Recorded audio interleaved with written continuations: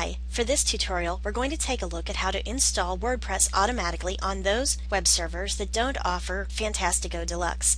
For this one we're looking at Bluehost and we're going to take a look for the WordPress button that is featured on its cPanel or control panel.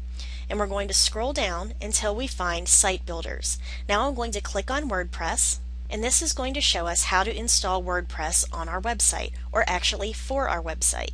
It also gives us external links to the official site for WordPress, documentation, support forums, how you can donate to WordPress, read reviews about WordPress, or go to custom web design for WordPress.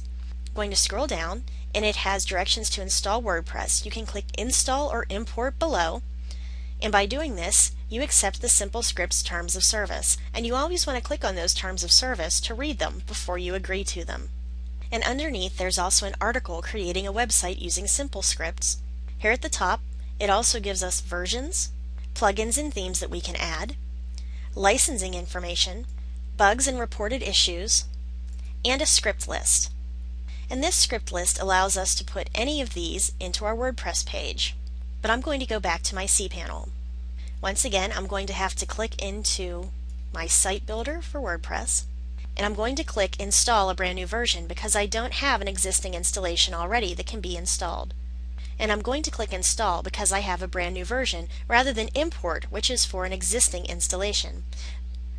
Clicking install, it shows that it's loading and it's going to ask which version I'd like to install. If you're not sure, just pick the latest one, especially if it shows that it's stable. Next it's going to ask where we'd like the WordPress installed this is our domain name and I'm going to make a subdirectory called tutorial folder. And I'm going to make a subdirectory called tutorial.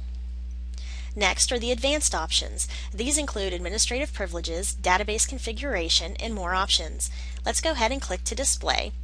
And this will allow us to give your site a new name, to generate a random administrator username and password for you if you don't want to use your own, or you can go ahead and put your username and password in here and automatically create a new database. And this is going to create a new database for this WordPress installation. Underneath, it offers us plugins and themes, including e-commerce, a small business theme, and WiziApp, which allows your site to be turned into a native iPhone app. Finally, at the bottom, it's legal information.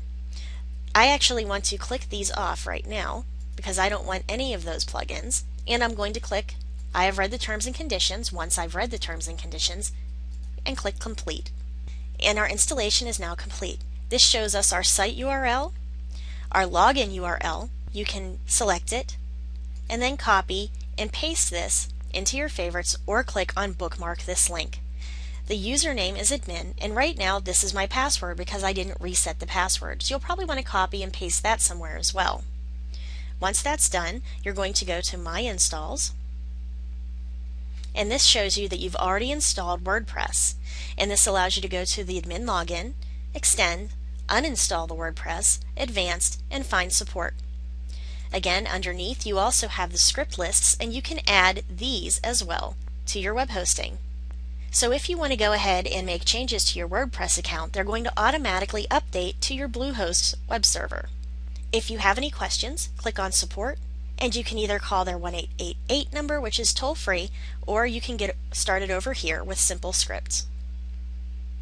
So I hope that this has helped you out and it's shown you that you can actually use Bluehost and WordPress together very easily with just a few clicks of a button. So thanks for watching and we'll see you at the next tutorial.